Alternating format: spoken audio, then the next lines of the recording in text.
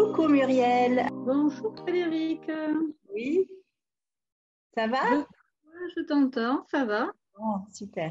Alors euh, voilà, ce soir on va parler iridologie. Donc l'iridologie, c'est l'étude en fait euh, de, de, de, la, de la partie colorée de l'œil colorée de l'œil. Donc, en fait, je sais qu'il y a beaucoup de marqueurs de santé que tu peux justement déterminer par rapport à ce que tu vois. Euh, c'est un peu comme euh, peut-être euh, la réflexologie sur les mains ou sur les pieds. Tu as aussi le corps humain dans l'œil. Comment ça se passe? Exactement, exactement. Donc, justement, je vous montrerai la cartographie dans le, dans le déroulé. J'ai quelques slides, donc on va, dès que tu m'auras donné le on va décortiquer. D'accord. Et alors, euh, donc toi, tu es, euh, tu es euh, Muriel Bergès, tu es formatrice aussi pour l'équilibre dans, le, dans le contexte de l'iridologie, qui est, qui, est dans le cadre de la naturopathie. donc toi, tu es iridologue, tu as un cabinet sur, près de Dax, c'est ça? Oui, j'exerce sur Saint-Paul-et-Dax, sur Ponton et à mon domicile à la Luca. D'accord. Est-ce que tu peux te présenter en, deux, trois mots? Je me présente, je m'appelle Muriel Bergès, donc je suis naturopathe. J'ai été formée par l'école Euronature, hein, qui est une école euh, inscrite à, la FENA. Donc la FENA, c'est la Fédération nationale des, euh, des, écoles de naturopathie en France. je suis, j'ai passé une certification, euh, la certification de la FENA également. Mm-hmm. Et je suis également, j'ai adhéré à un organisme qui s'appelle également l'OMNES. Qui, qui, recense un petit peu tous les naturopathes. Connu, oui, tout à fait. Qui voilà un, un signe de qualité. C'est un gage de. Oui, ils ont imposé des critères auprès de, des naturopathes, auprès des écoles, et c'est vrai que c'est un gage de sérieux.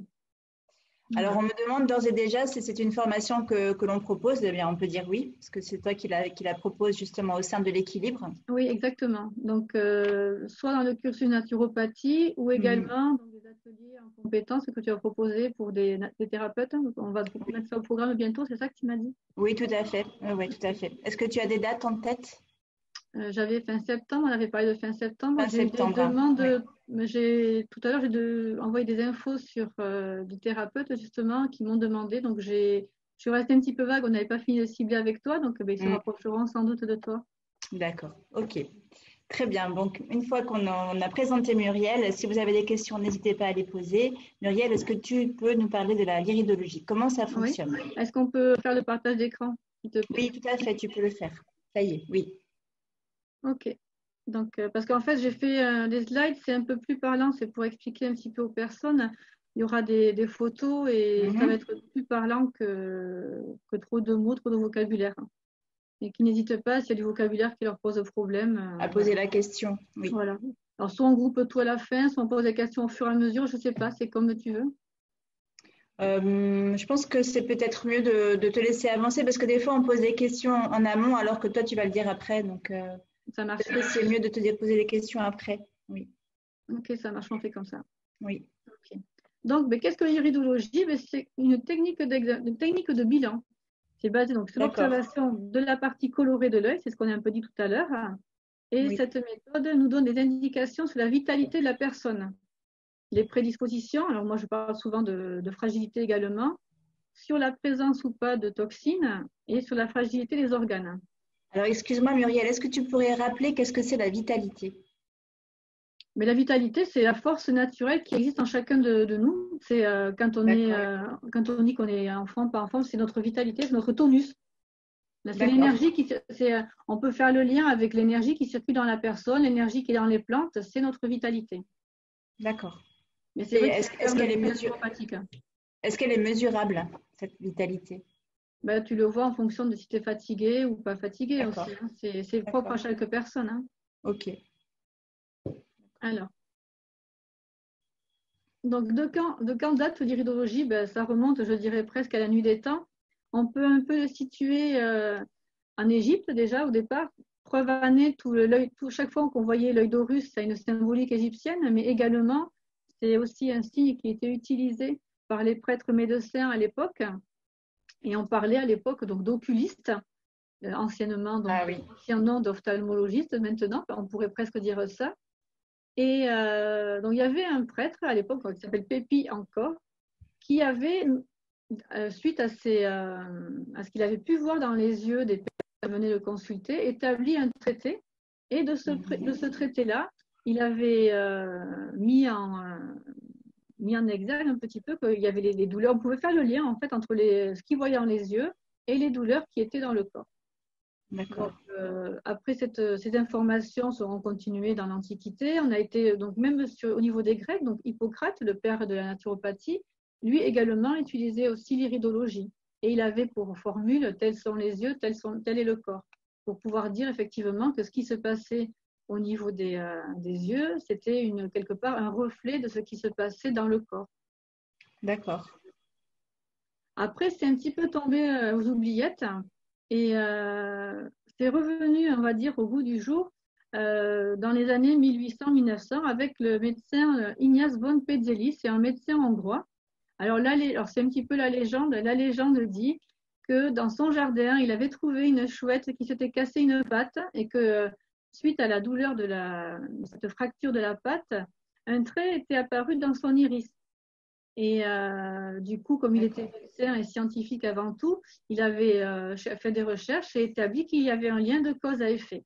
Et lui, par contre, il dira plus tard, l'œil n'est pas seulement le miroir de l'âme, parce qu'on disait souvent que quand on regardait dans les yeux, c'était le miroir de l'âme, mm-hmm. c'était aussi deux miroirs du corps.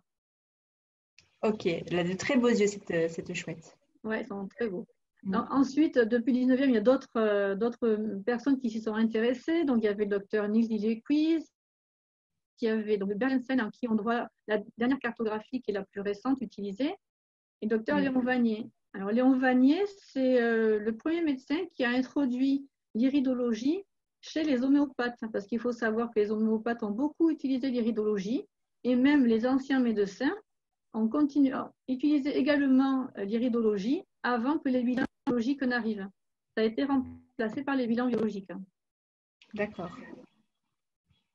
Donc, il y a des cartographies qui existent, plusieurs types de cartographies, on va en voir mhm. d'autres. Et euh, elles sont associées aussi à certaines personnes que je voulais citer. Monsieur Gilbert Josas, qui lui a travaillé avec la cartographie qui était établie euh, un petit peu plus, plus ancienne dans le temps. Mais euh, je voulais le citer parce que lui, c'est le seul qui a fait, c'est un des premiers plutôt, qui a fait le lien entre les signes au niveau de la pupille et le véhicule émotionnel. Donc, c'est comme ça que des fois, on peut déterminer certaines choses au niveau des émotions, par exemple. Et après, M. André Roux, qui a, lui, c'est grâce à lui qu'aujourd'hui, l'enseignement de l'iridologie est dans les écoles de naturopathie. OK. Donc, voyons la carte. Ça, c'était la carte de M. Roux, par exemple, qui est euh, assez colorée, assez parlante, avec mhm. laquelle je vais euh, sans doute travailler, certainement travailler. Et également, la plus récente, c'est celle de Monsieur Peut-être que je vais utiliser aussi avec, euh, avec les élèves. On va voir, on verra comment, euh, comment ça se passe. Mais les deux, les deux se, se, se, complètent ou en tout cas elles sont sur la même euh, vision. Enfin, vision oui, oui, oui. Alors c'est aussi un peu en ça que qu'on peut pas dire que c'est une science, une technique scientifique, puisqu'en fait il y a eu plein de cartographies avec des, des informations un petit peu différentes à un moment donné, et ça a été un mhm. petit peu euh, discrédité à cause de ça. Mais il n'en reste pas moins que ça reste quelque chose d'empirique, c'est-à-dire que c'est ben, la preuve un petit peu par ce qui se passe. Mhm. Et, euh, on pourrait dire même pragmatique, voilà, c'est les faits. On peut dire, voilà, à tel endroit, il y a ça. Est-ce que, après, s'il y a un échange avec la personne, on n'est pas dans de la divination. Hein. On est dans l'échange. Et euh, on, pose des questions aussi à la personne qu'on a en face de nous. Hein. Oui nous, on va suspecter des fragilités au regard des cartes qu'on a sous les yeux et on va poser des questions. D'accord. Alors, ensuite, quels sont les qui sont utilisés? Alors, on peut tout simplement utiliser pour démarrer une, loupe. Ça suffit mhm. largement en fait. la seule chose, c'est qu'il n'y a que l'iridologue qui voit ce qui se passe au niveau de, l'œil. Euh, ce qui peut être intéressant, c'est d'utiliser un iriscope qui est ici dessous, donc, euh, l'appareil prend en photo l'œil et est relié à un PC. Ok. Un appareil photo avec un focus très spécifique. Ou également euh, un iridoscope, qui est un mhm. appareil euh, qui ressemble à celui des ophtalmos, où on peut poser notre tête et c'est effectivement un peu plus stable et peut-être plus à l'aise pour la personne qui est en face que la lampe qui se balade un petit peu comme ça et puis la tête qui bouge, c'est des fois pas forcément facile. Mais il n'en reste pas moins que ça suffit large. Pour trouver ce qu'on veut trouver dans l'œil, franchement, ça peut très bien suffire une loupe avec un grossissement particulier, mais euh, voilà, plus une lumière intégrée, mais ça peut largement suffire. D'accord. Alors, la question que se pose tout le monde, c'est comment ça se fait que l'œil, en fait, euh, est eh toujours, euh, comment ça se fait que l'iris, en fait, reçoit des informations? Comment c'est possible? En fait, c'est parce que l'iris, vous voyez, j'ai pris une photo, un, schéma qui me semble assez, assez visuel. L'iris, il est très largement vascularisé et il est effectivement en lien du coup avec tous les organes dans le corps. Et dans ce réseau vasculaire, euh, les toxines qui sont véhiculées dans le sang peuvent ressortir et donner des colorations particulières au niveau de l'iris. Et également, le système nerveux, il envoie euh, à chaque fois des micros euh, d'informations et on va le voir un peu plus tard, ça peut affecter la structure même de, de l'œil.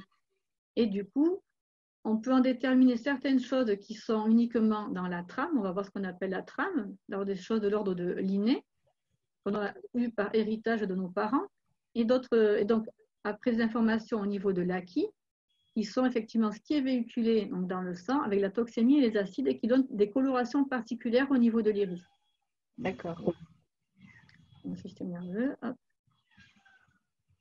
Euh, alors, voici globalement un schéma de l'iris.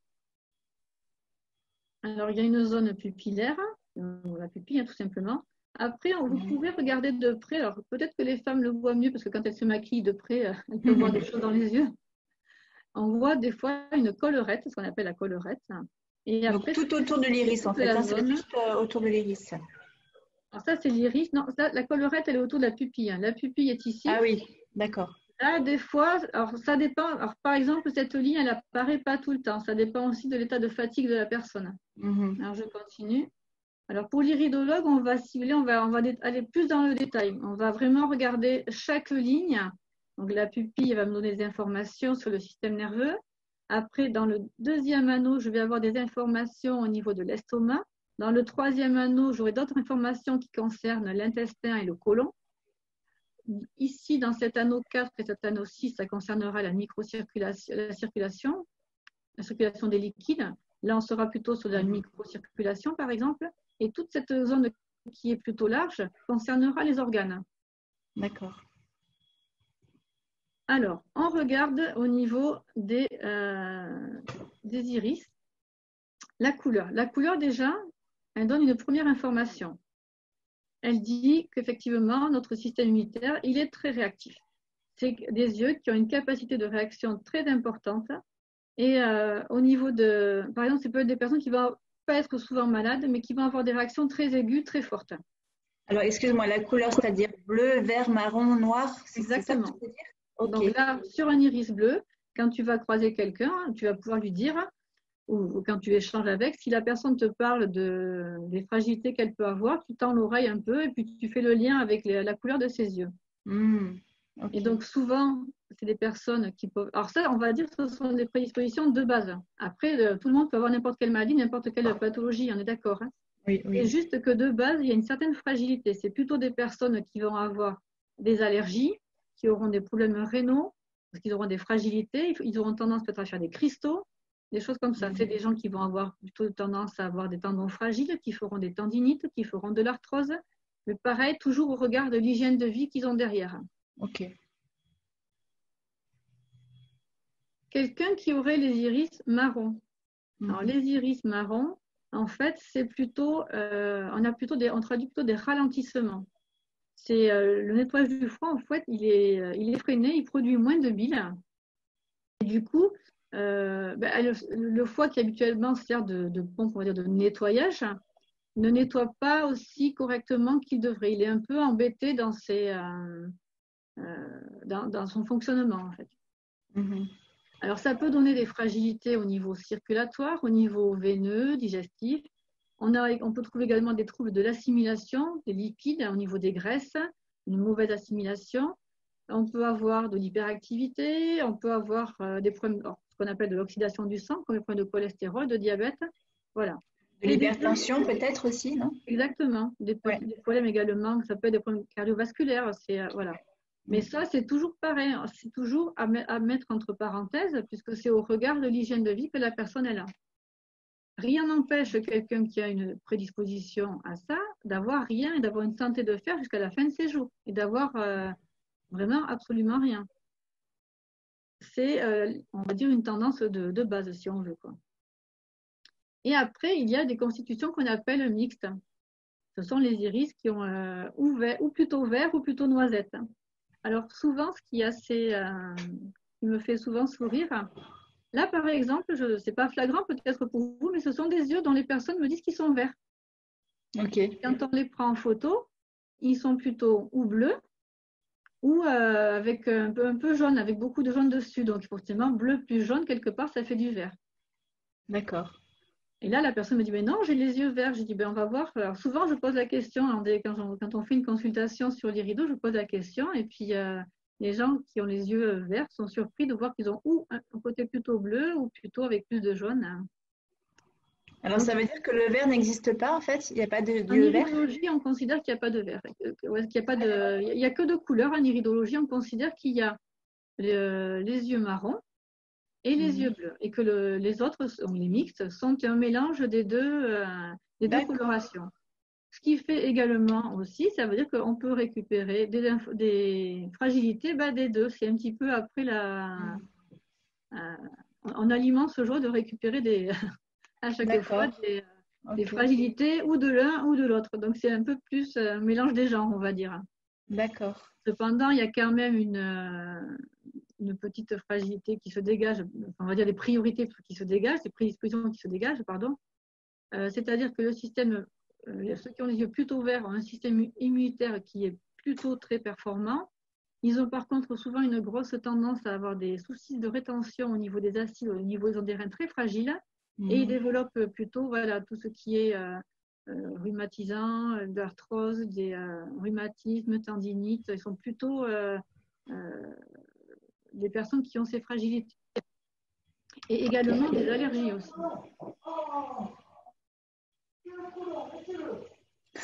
C'est les voisins. C'est les voisins qui font du bruit.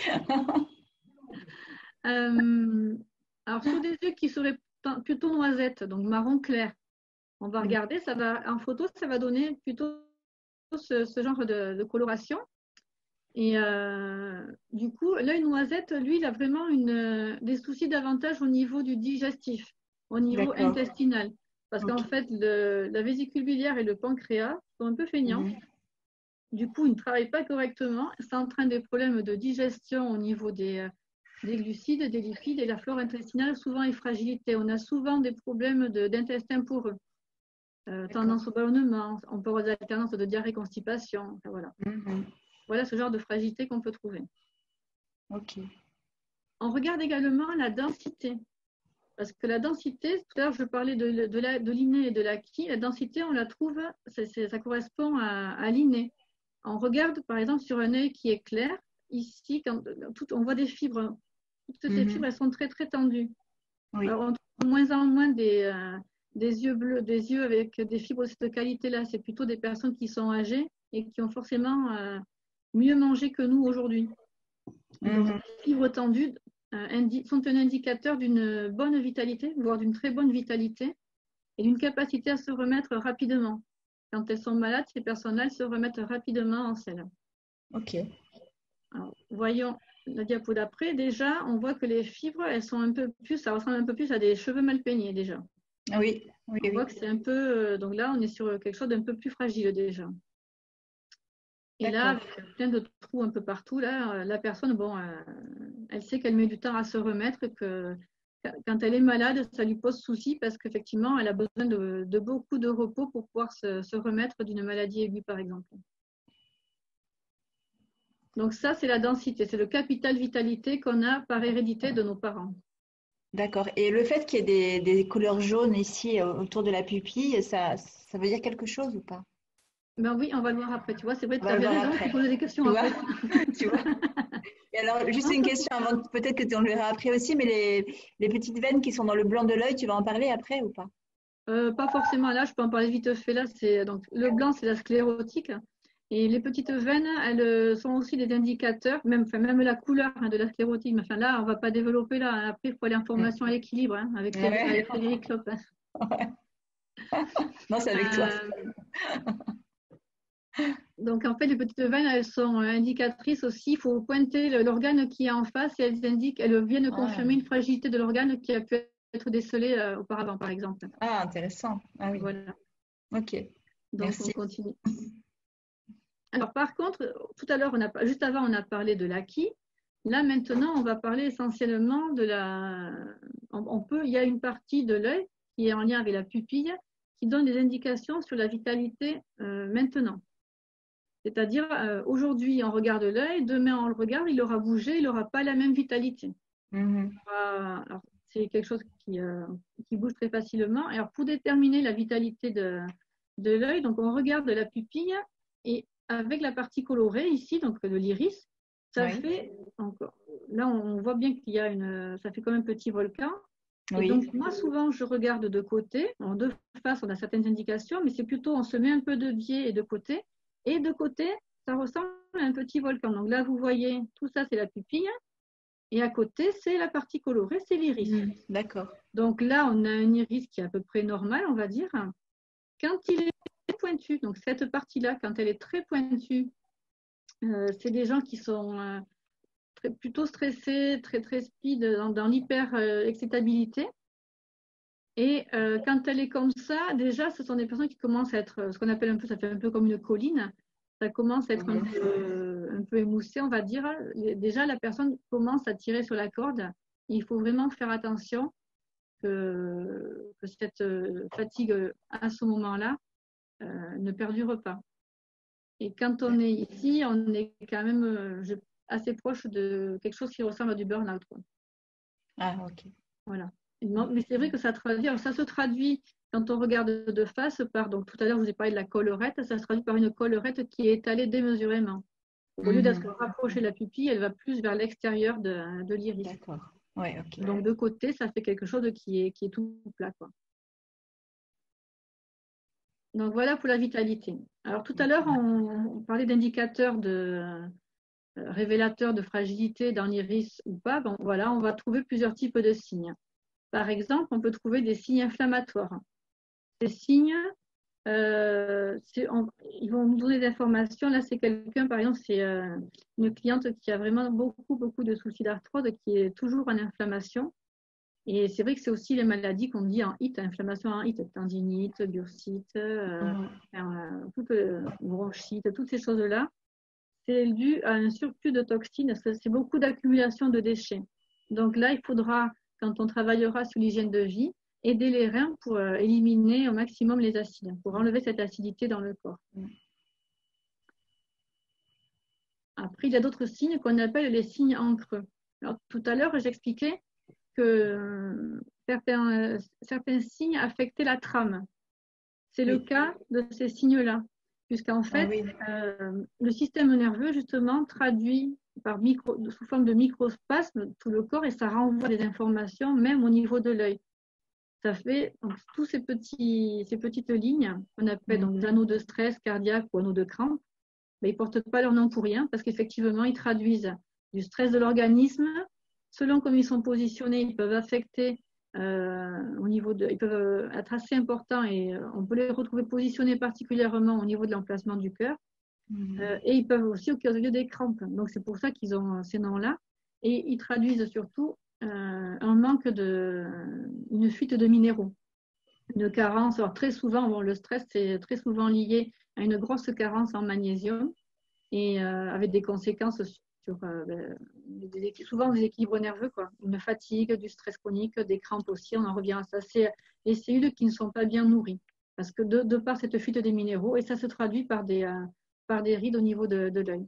Le, corps se spasme et ça fait comme des micro-sillons, ça, crée des rides un petit peu dans l'œil.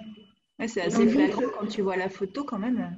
Ouais. Et là, c'est un gamin qui n'est pas bien vieux. Donc, il euh, ah. faut se dire qu'il est quand même euh, stressé. Alors, ça peut être quelque chose qui peut avoir été. Euh, que la mère a pu aussi avoir pendant sa grossesse. Ah oui. comme c'est dans la structure, c'est pas forcément. Elle, elle, pouvait être très stressée, par exemple, pendant sa grossesse. Hmm. Et euh, ça a pu se retranscrire de cette manière-là au niveau de l'enfant. Ça fait partie aussi de l'hérédité. Ok. C'est pas systématique. Et il y en a qui en ont beaucoup. Et on dit déjà qu'à partir de 2-3, ça affecte vraiment l'organisme. Ça a des conséquences sur la santé. Donc euh, voilà euh, ce qu'on peut voir. Donc là, on les voit assez bien. Sur du marron, on les voit assez bien. Sur les bleus, les yeux bleus, c'est un peu plus compliqué à voir. Mm que j'ai mis en marron. D'autres signes qu'on peut voir, c'est par exemple, des fois, on voit des, il faut vraiment avoir la photo pour le voir. On ne va pas le voir à l'œil nu. On voit des petites aréoles comme ça, qu'on appelle des, vacuoles. Et euh, alors là, en l'occurrence, il faut regarder, par exemple, là où est-ce qu'elles sont placées. Donc là, ça me donne des indications, parce que c'est une perte de, substance. En fait, c'est euh, c'est pas forcément euh, quelque chose qui va être grave, parce que il faut, quand, quand c'est plus grave, les, les, signes sont beaucoup plus importants. Même si ça paraît assez large, oui c'est pas forcément euh, la personne aura une fragilité, mais qui ne sera pas irréparable ni quoi que ce soit. Et donc là, en fait, ça signe surtout les affections ORL chroniques. Et la chronicité, elle se traduit avec le, liseré ici au niveau de, enfin, le contour euh, qui est révélateur d'une chronicité. Ensuite, on peut voir dans les yeux des traits comme ça. Alors ça, on peut des fois arriver à les voir à l'œil nu ou en regardant de près en glace. Donc tous ces petits traits. Mhm.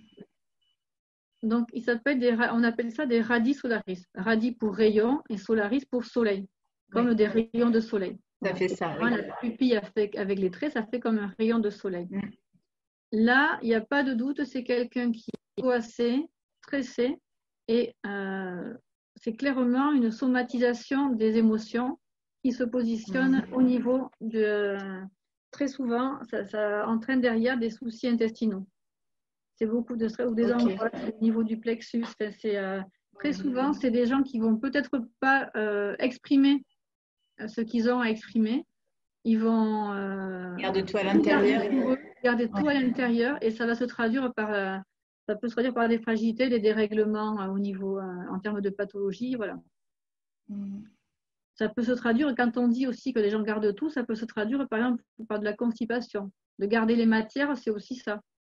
Les gens qui sont constipés, il faut qu'ils se posent la, question qu'est-ce qu'ils gardent? Parce que ça garde aussi, de garder ses émotions, ça a aussi une incidence, même au niveau intestinal. Ça peut influencer les matières qui stagnent. Elles peuvent rester parce que la personne garde tout à l'intérieur. Est-ce que toi, tu as déjà repéré que des personnes qui viennent te voir avec des problèmes intestinaux euh, ont tous euh, ce soleil autour de, la pupille.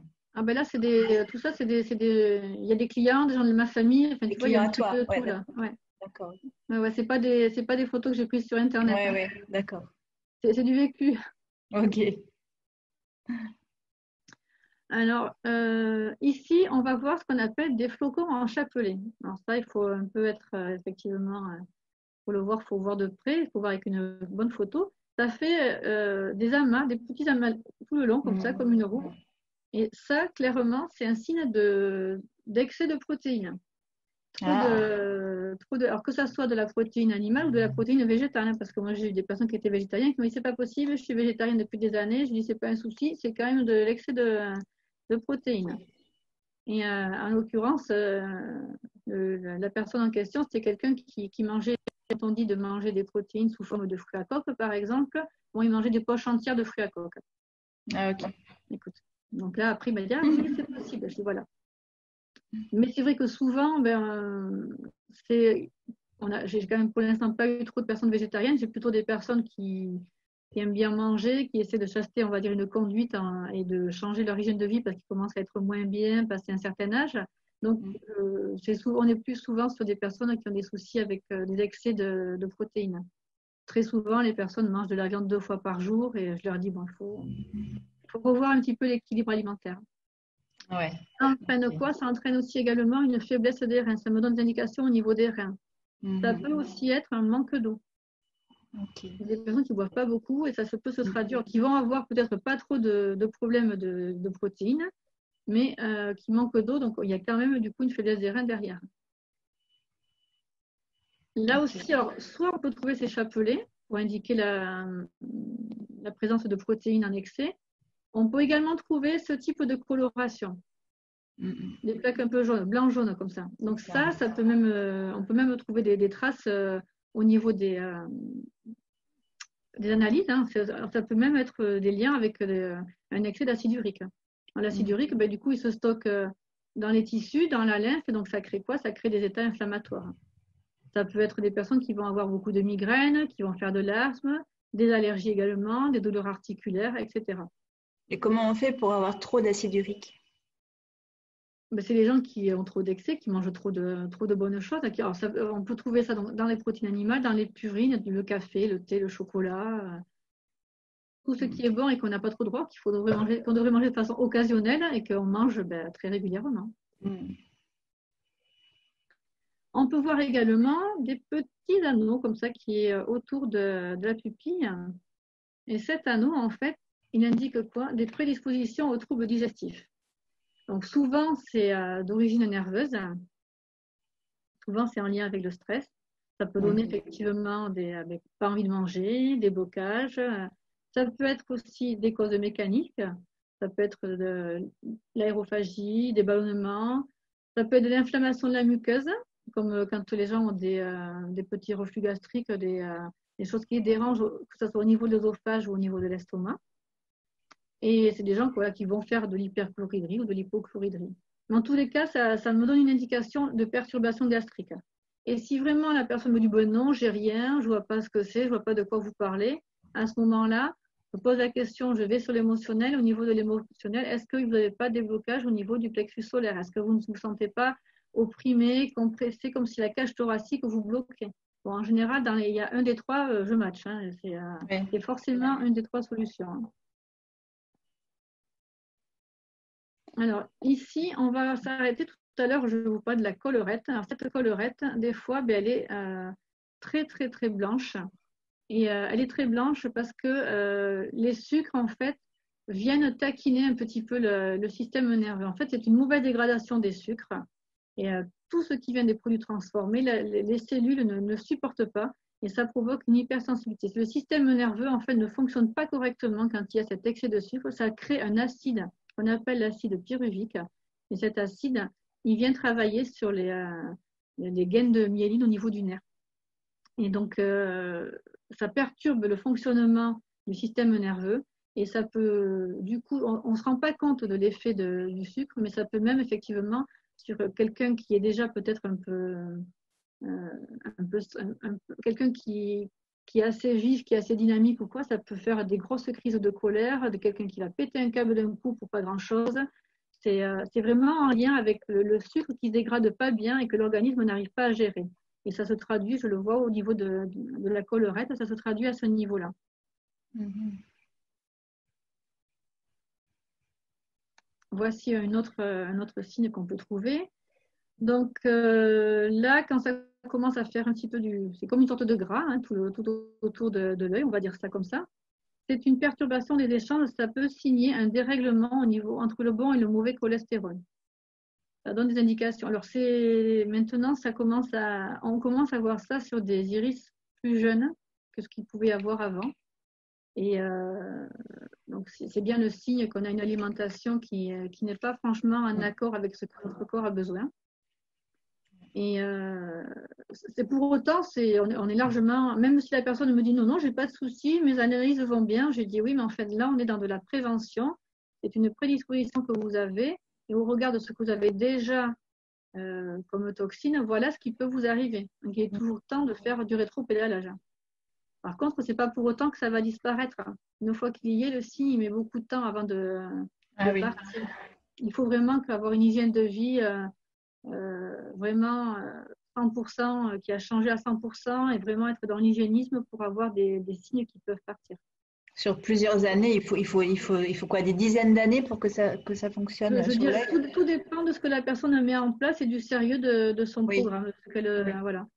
Bon, par contre, je sais que certaines personnes s'avancent en disant qu'au bout de six mois, il y a des changements. Je ne suis pas persuadée. Hein. Il faut vraiment avoir une hygiène vraiment très, voilà, très, très hygiéniste euh, et, les signes ne partent pas comme ça. de toute manière, ils laisseront toujours des traces. Alors, voilà aussi ce qu'on peut voir là, c'est pareil. Quand il y a trop de marron comme ça, c'est une surconsommation de produits raffinés. Ça signe également une, une flore intestinale perturbée, euh, avec euh, des fragilités. Disons que le système immunitaire est, très sollicité, il est affaibli. Et euh, très souvent, donc là on le voit aussi avec ce petit soleil autour, c'est très, très, très écarté, les, fibres ici. Ça, me, mhm. Une, ça, peut signer une, pardon, une porosité intestinale. Voilà. Alors, voici des colorations aussi. ah oui, ça c'est j'ai fait en double. Ah, mauvaise pioche, ça c'est pas le bon truc. C'était pour, montrer le halo que j'avais remis mieux. J'ai oublié d'enlever la diapo. Ok. Alors, on voit aussi un aplatissement de la pupille ici. Alors, je ne sais pas si on le, voit très bien. La pupille n'est pas complètement ronde, elle est légèrement aplatie ici. Oui, oui, on le voit. Ça fait partie des caractéristiques qu'on voit souvent au niveau des. Euh, enfin, souvent, qu'on peut voir au niveau de la pupille. Et là, type d'information à ce niveau-là, ça peut indiquer euh, au niveau euh, physiologique qu'il y a un souci au niveau rénal. Et effectivement, quand j'ai posé la question à la personne, ben, j'ai dit est-ce que vous avez des soucis au niveau du rein? Elle me dit ben oui, je suis née avec un seul rein. Hmm. Donc il y, avait il y avait bien un lien de cause à effet. Et quand il n'y a pas de souci, ça peut traduire autre chose. C'est là, on va sur l'émotionnel aussi et ça peut traduire des, perturbations au sein de, au sein de la famille, au sein avec le conjoint, au sein de l'association, tout ce qui relève de, personnes qui sont associées, soit la famille, soit le conjoint, soit dans une, vraie association à côté. Voilà, donc il faut, euh, dans l'émotionnel, on peut poser ce type de questions. Si la personne n'a rien au niveau physiologique, on peut essayer d'aller sur l'émotionnel. Donc, on a vu un petit peu donc, euh, plusieurs signes, plusieurs euh, informations. Et on va essayer de voir en fonction de la couleur, on reste quand même sur des généralités, mais on va voir en fonction de la couleur des yeux, qu'est-ce qui peut être intéressant à mettre en place comme hygiène de vie derrière. Mm-hmm. Donc voilà, comment prendre soin de la couleur de, de nous en fonction de la couleur de notre iris. Alors, sur des iris qui sont plutôt bleus, on va Évidemment, mais on va partir du principe que euh, quand je vous parle d'alimentation, moi je ne parle pas d'alimentation industrielle, je ne parle pas de carottes ou de légumes qu'on va prendre en plein champ qui sont euh, pleins de pesticides. On parle toujours sur des, du principe que notre base, elle est quand même sur des produits bio. On va essayer de partir sur ça. Moi, les conseils que je donne, c'est au regard d'une alimentation euh, locale, plutôt des, produits bio si on peut, disons au maximum, et tout ce qui n'est pas industriel. Oui, Donc, il faut évidemment limiter les aliments acidifiants, les aliments qui acidifient le, terrain naturopathique, hein, puisque les yeux bleus sont des, euh, souvent des terrains euh, avec beaucoup d'acidité à l'intérieur. Il faut limiter les viandes rouges. les aliments, on peut garder des viandes blanches, mais et puis pareil, hein, pas, plusieurs fois au bas, enfin comment dire, euh, si les personnes sont habituées à manger de la viande deux fois par jour, c'est systématique. Je vais déjà dans un premier temps proposer plus qu'une fois par jour, si c'est possible. Après, l'idéal, c'est même un peu moins dans la semaine. Mm. Mais bon, ça, c'est vraiment, il faut voir au cas par cas jusqu'où la personne peut aller. C'est pas, on ne peut pas donner des règles d'or à tout le monde. Mais voilà, quoi qu'il en soit, limiter les aliments acidifiants, tous les aliments raffinés. Alors les aliments raffinés, ben, c'est tous les aliments industriels c'est euh, les farines blanches, les pâtes blanches, le sucre blanc, les fromages, euh, le sucre blanc, pardon, les fromages de vache industriels. Euh, il vaut mieux aller sur des choses qui sont locales, sur des produits complets ou semi-complets si on ne supporte pas le complet. Mais n'empêche que le, fromage de vache, c'est OK si ce n'est pas industriel? Alors, le fromage de vache, ça va être, surtout s'il est au lait cru, ça on peut. Mais bon, c'est pareil, tout est, je, préfère dire aux personnes de le réserver pour les moments qui leur fait plaisir, c'est-à-dire de ramener plutôt ça à quelque chose comme le week-end. Je ne vais pas mhm. leur dire d'en manger tous les jours non plus.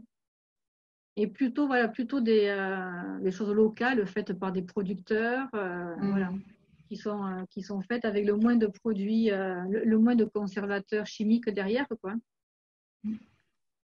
Les fruits frais, donc à consommer en dehors des repas, des légumes crus et cuits à chaque repas. Et les yeux bleus, particulièrement besoin voilà, d'accès, parce que même s'il euh, y a une tendance générale, chaque couleur va avoir un petit peu sa particularité. Donc, ce qu'on peut faire aussi pour aider déjà d'une manière naturelle à éliminer la, toxémie qui est dans le corps, on peut tout simplement euh, prendre une bouillotte, bouillotte d'eau chaude qu'on peut mettre au niveau des reins, puisque les reins mhm. ben, souvent sont fragiles sur des personnes qui ont les yeux bleus. On met à ce moment-là une bouillotte pour stimuler le rein pour qu'il puisse davantage évacuer et puis euh, les toxines partent euh, plus facilement. On peut également utiliser euh, bien évidemment de la phytothérapie avec des infusions d'ortie, de pissenlit, de prêle, ça en infusion. Euh, également de la gémothérapie. la gémothérapie, c'est euh, la phyto mais avec des bourgeons. C'est du macérat de bourgeons, parce qu'on considère en gémothérapie que le bourgeon représente la plante dans sa totalité. Donc, c'est une plante à en devenir, le bourgeon. Mhm. Donc, on récupère un maximum d'informations et de principes actifs de la plante d'où l'action très euh, importante au niveau du terrain. La gémothérapie se marie très bien avec le, terrain, agit beaucoup avec le terrain de la personne, et, euh, notamment sur les, inflammations. Et par exemple, pour les, tendons, on peut utiliser du bouleau, du figuier, du cassis, du genévrier. D'accord. Également, les infusions de prêle et d'ortie sont intéressantes au niveau des, euh, des, personnes qui ont des tendinites aussi. Qu'on travaille sur le, où on travaille sur la silice, on travaille sur le, la régénération. Tu disais toutes les maladies en HIT en fait, hein, euh, sinusite, euh, tout Exactement. Ça. peut être la sinusite, ça peut être des bronchites, ça peut être euh, voilà. tout ce qui est de l'inflammation qui donne effectivement c'est les, les, terminaisons des mots en HIT. Ok. Alors sur les iris marrons, qu'est-ce qui va donc en fait tout à l'heure on a vu que le foie pour lui c'était le foie euh, était un peu feignant chez les iris marrons. Le, sang est plus épais, c'est plus ralenti, c'est un peu plus compliqué pour lui de fonctionner euh, à 100%, on va dire. Donc, pour l'aider à fonctionner à 100%, il y a des aliments qu'il vaudra mieux éviter et d'autres, ben, il faudra les éviter parce que tout simplement pour euh, le foie, ben, c'est complexe de, de, faire du nettoyage après derrière. Donc, on limite les amidons comme les pains, les pâtes, les riz, les pommes de terre par exemple une fois par jour, grand maximum. Les graisses saturées, ce qu'on appelle graisses saturées, bon, bien évidemment, hein, charcuterie, fromage industriel, voilà. Également, ben, alcool, café, thé, additifs. Bon, ça, autant vous dire que je ne l'ai pas mis partout, mais c'est valable pour tout, hein, soit la couleur des yeux. Euh, un amidon, ce qui peut être euh, quand même possible pour, euh, pour quelqu'un qui aurait les yeux marrons, c'est des patates douces, du sarrasin, du quinoa, de la châtaigne on peut prendre du, euh, lait de vache au, lait cru, du chèvre du produit, des fruits frais en dehors des repas, ça c'est tout le temps, euh, ce qu'on dit tout le temps. On peut même des fois, euh, si la personne n'a pas forcément, ne sent pas forcément bien ou qu'elle n'a pas forcément très faim, elle peut essayer de faire des repas que de fruits. Les fruits étant ah, antioxydants, ça sera plus facile pour lui de digérer. Je pense à ça quand je propose par exemple des monodiètes. Il y a des monodiètes qui sont proposées de fruits, de légumes, ou voilà. Et effectivement, quelqu'un qui a euh, les, yeux foncés, ça sera plus intéressant et plus, quelque part, ça allégera davantage la digestion de prendre des, euh, de prendre des repas que de fruits. Par exemple, de faire une monodiète, quand l'automne va arriver, ça sera la monodiète de raisin qui peut être intéressante pour cette personne-là. Mhm. Après, bon, ben voilà, des légumes verts, artichauts, radis, noirs, fenouil pour augmenter la sécrétion de bile. On est toujours dans la stimulation pour aider le foie à faire son travail. Donc, ça, s'adresse aussi à toutes les personnes qui, ont, qui, auraient les yeux bleus ou verts ou d'une autre couleur que brun, mais qui ont des problèmes de foie. Oui, oui, oui, ça, tu, oui pour les légumes, tu veux dire hein. euh, Oui, pour ce, ce régime-là, en fait. Euh, oui. oui, oui, On peut également aider la stimulation de stimuler le foie d'une autre manière aussi, pour éliminer, pareil avec euh, une, bouillotte chaude au niveau du foie. Ça, peut être intéressant quand on fait des repas un peu chargés pour les réveillons, pour les, les barbecues un peu trop arrosés l'été, euh, voilà. Mm pas très bien avant de vous jeter sur euh, un quelconque euh, cachet qui fait digérer, essayez d'avoir peut-être une, une, bouillotte tout simplement sur le foie. Et souvent, les personnes, donc, en lien avec le ralentissement des échanges, les personnes qui ont les yeux marrons ont souvent des problèmes de circulation sanguine. Ça peut être des personnes qui ont des, des problèmes d'hémorroïdes, des problèmes de, de circulation, hein, de, jambes lourdes, etc. Donc, le matin, il faut qu'ils prennent l'habitude, de, ou chaque fois qu'ils passent à la douche, de faire des douches écossaises. Ça paraît pas, pas grand-chose, mais bon, c'est une, donc la douche c'est une alternance de, de jet, de jet d'eau froide et d'eau chaude.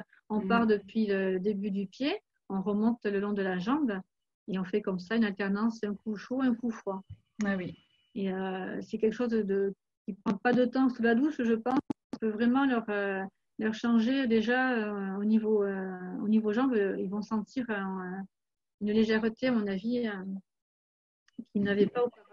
Et puis, une petite routine à mettre en place. Oui, voilà, c'est toute une hygiène.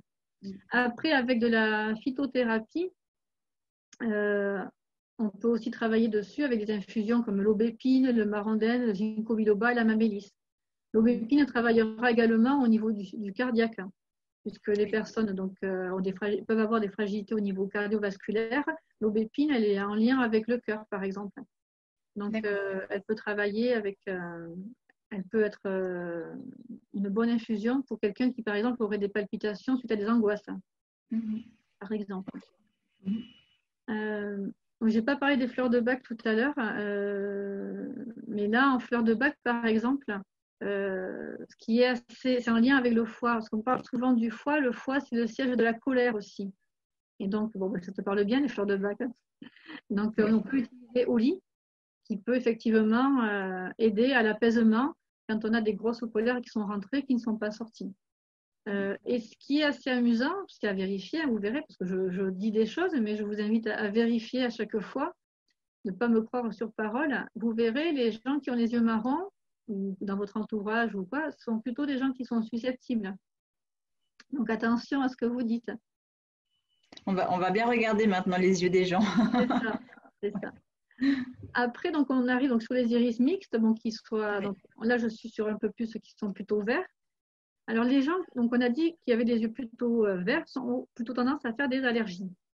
Et donc, dans le type d'allergie, c'est en fait, ils font souvent des allergies parce que leur système nerveux réagit très fortement à l'histamine, donc qui est effectivement vecteur, dans l'histamine, qui est vecteur de, d'allergies, que ce soit des, intolérances alimentaires, que ce soit ou des allergies respiratoires ou cutanées.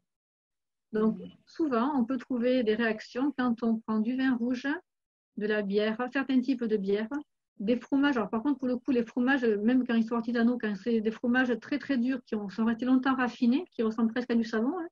Donc mhm. cela, en général, si quelqu'un a un petit peu des, allergies, ça peut déclencher euh, des allergies des aliments avec, bon, avec des produits qui sont exhausteurs de goût, de la charcuterie euh, ben, un peu type saucisson, salami, jambon de pain, viande de grison, certains produits de la mer, maquereaux, anchois qui sont très salés, plus ou moins, mm.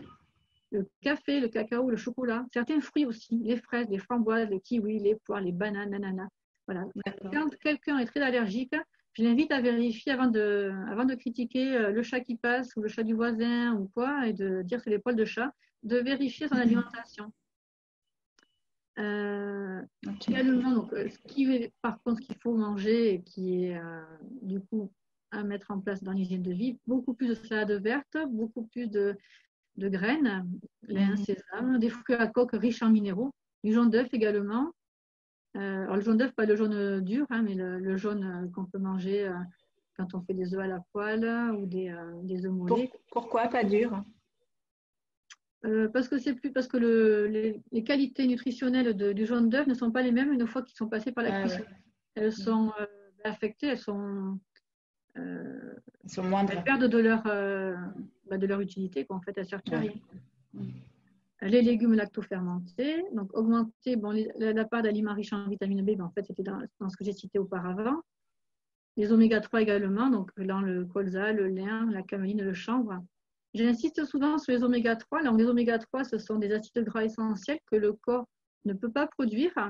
Mm-hmm. Euh, faites attention. Souvent, vous voyez des mélanges de oméga 3, oméga 9, oméga 6. Les gens, ils ne savent plus où ils en sont. Oui. On est là où c'est marqué oméga 3. Les autres, la proportion d'oméga 9, oméga 6 sont là tellement par, euh, dans d'autres alimentations extérieures qu'il vaut mieux axer dans les rajouts, notamment moi je le fais souvent dans les huiles, euh, sur les oméga 3. Après, en soins naturels, ben, on peut faire des bains de pieds chauds avec du sel, des huiles essentielles, de la marche rapide. Alors, Jacques, pourquoi les, bains de pieds chauds? Parce que souvent, ce sont des gens qui cogitent beaucoup aussi. D'ailleurs, euh, même au niveau, euh, on le voit en formation, mais euh, souvent il y a des colorations qui se situent à ce niveau-là. Donc le haut, là, c'est le, le, cerveau. Et ces colorations un peu foncées indiquent que, que, les personnes sont beaucoup dans le mental. Et donc, le bain de pied chaud, ben, paradoxalement, ben, ça libère le mental, ça libère le, ça libère l'énergie, ça refait circuler l'énergie au niveau du ah cerveau. C'est intéressant.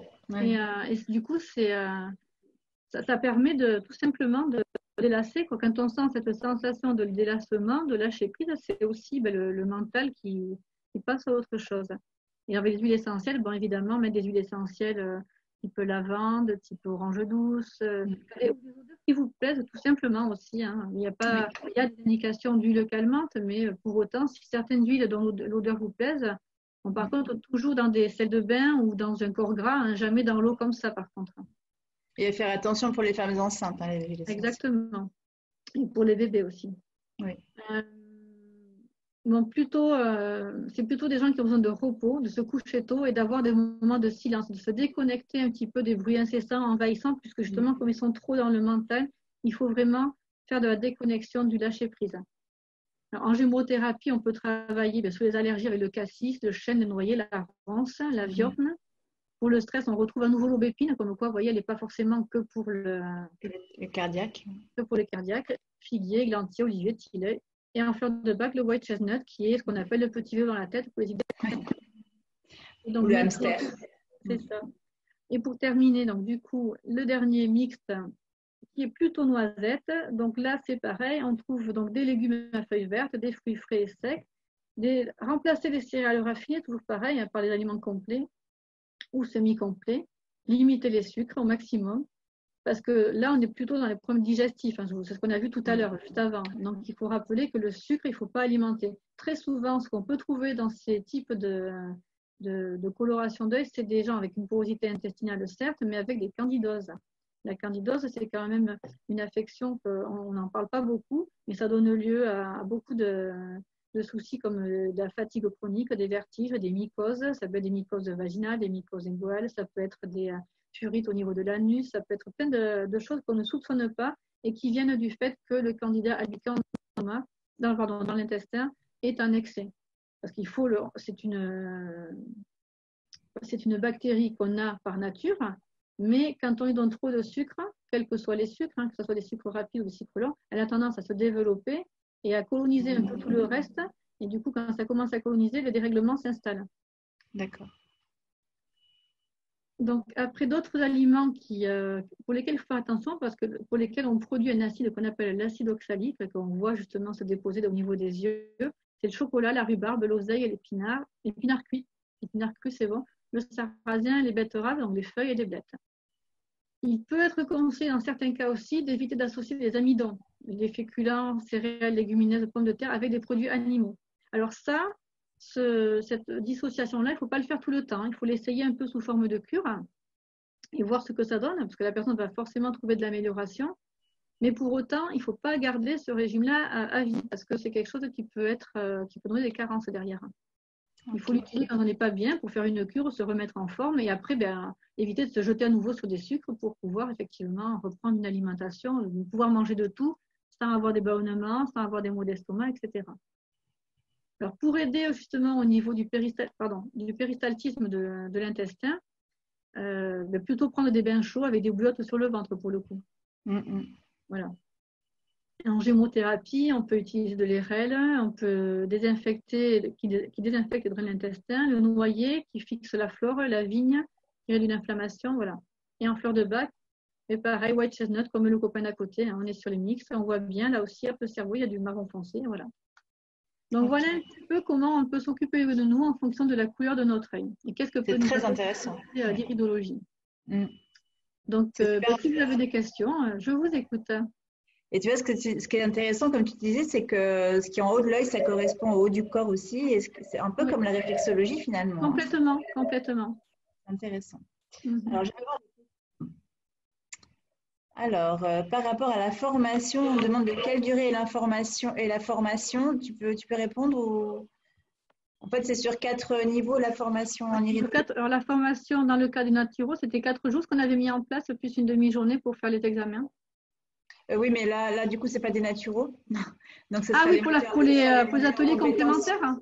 C'est sur trois jours, on avait dit, c'est ça? En fait, il y, avait, euh, il y avait trois niveaux, les niveaux fondamentaux, juniors et confirmés. Et en tout, ça fait cinq jours, je crois. Hein, c'est ça? Tu, m'entends?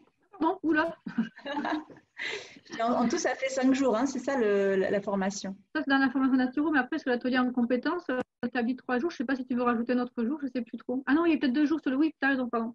c'est moi. Oui. C'était euh, oui, sur cinq jours en tout avec les trois niveaux. Mais en fait, c'est des montées en compétences. Donc, on peut commencer par euh, les fondamentaux et s'arrêter là. Et après, on peut aller jusqu'au niveau 2. Enfin, voilà. Euh, en tout cas, vous avez toutes les informations sur le site à la page des formations montées en compétences. Et là, en cliquant sur l'iridologie, vous aurez toutes les infos, le, temps et le, et le tarif aussi de la formation. Ensuite, euh, d'autres questions. Euh, les problèmes de vue peuvent-ils fausser le diagnostic? Non, parce que moi, je on ne regarde pas les mêmes choses qu'un ophtalmo. L'ophtalmo va regarder dans le fond de l'œil, des choses comme ça, ça n'a ça rien à voir. On ne recherche pas les mêmes informations. D'accord. Est-ce que du coup, est-ce que les ophtalmos utilisent euh, l'iridologie? Pas que je sache. Ils ont peut-être utilisé par le passé, mais là, ils ont des, outils tellement plus, plus techniques et plus, plus modernes que je ne pense pas qu'il en ait besoin. Alors, Sabine, pour répondre à ta question, si vous êtes naturo, euh, vous pouvez rejoindre euh, la formation naturo en iridologie. Et là, c'est sur euh, quatre jours, plus un jour de, pratique. C'est ça Voilà. Alors, voilà. Est-ce qu'il y a d'autres questions? Alors. Non, mais je crois que tu as, tu as dit tellement de choses complètes qu'il n'y a plus de questions. ah, attends.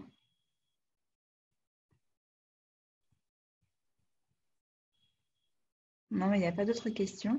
Euh, après, je pense que les personnes euh, auraient, aussi envie de, connaître euh, leur iris et qu'est-ce qui se passe pour eux. Donc, dans ces cas-là, je les invite à, venir te voir en cabinet pour, le savoir.